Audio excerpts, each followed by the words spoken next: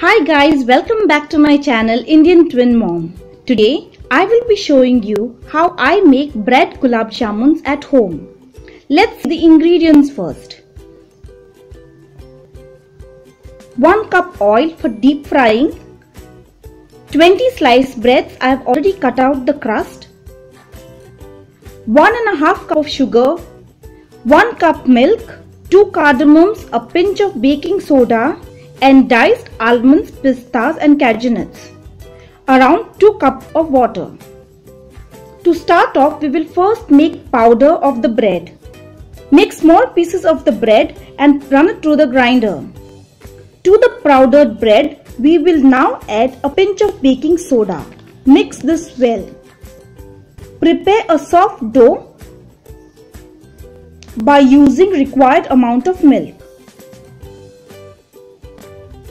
See that you don't put, put much pressure on the dough.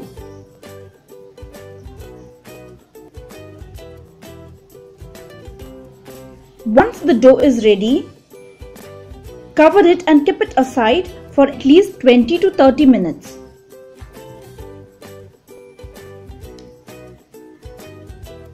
Now let's prepare the sugar syrup. Take one and a half cup of sugar and 2 cups of water.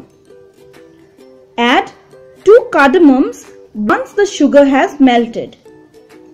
Cook this on low flame for around 10 minutes. Now make small balls of the bread dough. Make of any size and shape as per your choice.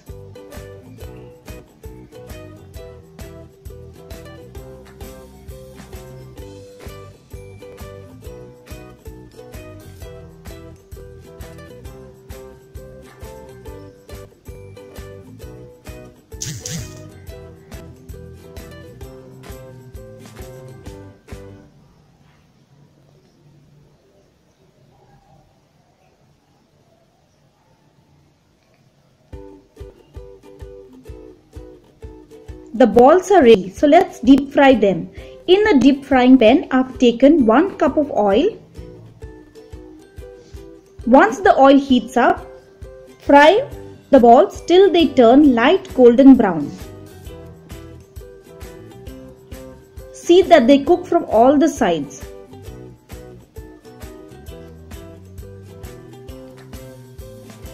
Cook it on low to medium heat.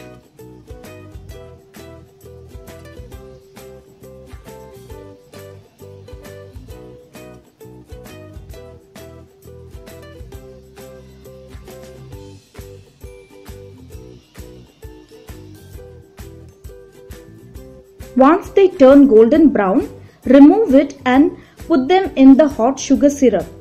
See that each gulab jamun is dipped in the sugar syrup. Let it rest in the syrup for some time. Bread gulab jamuns are ready. Thanks for watching. If you enjoyed this video, please subscribe to my channel, like, share and also comment. You can check out these videos too. For more exciting books, keep watching Indian Twin Mom. Bye!